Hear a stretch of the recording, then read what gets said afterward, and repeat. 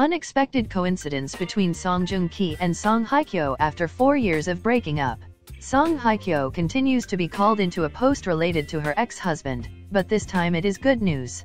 So in real life after a good collaboration in Descendants of the Sun, Song Joong Ki, Song Hye Kyo is considered the most beautiful couple in the Korean entertainment industry. However, only two years. After getting married, the couple went their separate ways, leaving many regrets for fans. Although everyone has their own lives, Song Joong Ki lives happily with his foreign wife, and Song Hye Kyo continues to enjoy the single life, but the two are often called together.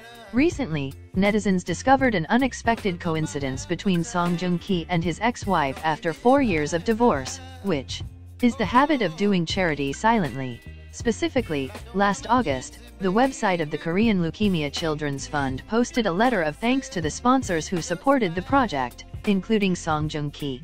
It is known that the actor has been quietly donating to the above-mentioned difficult circumstances since 2011, but until now, this information has only been publicly announced to the media and the audience. According to a source from the support unit, thanks to Song Joong Ki's beautiful actions, many difficult situations were promptly saved.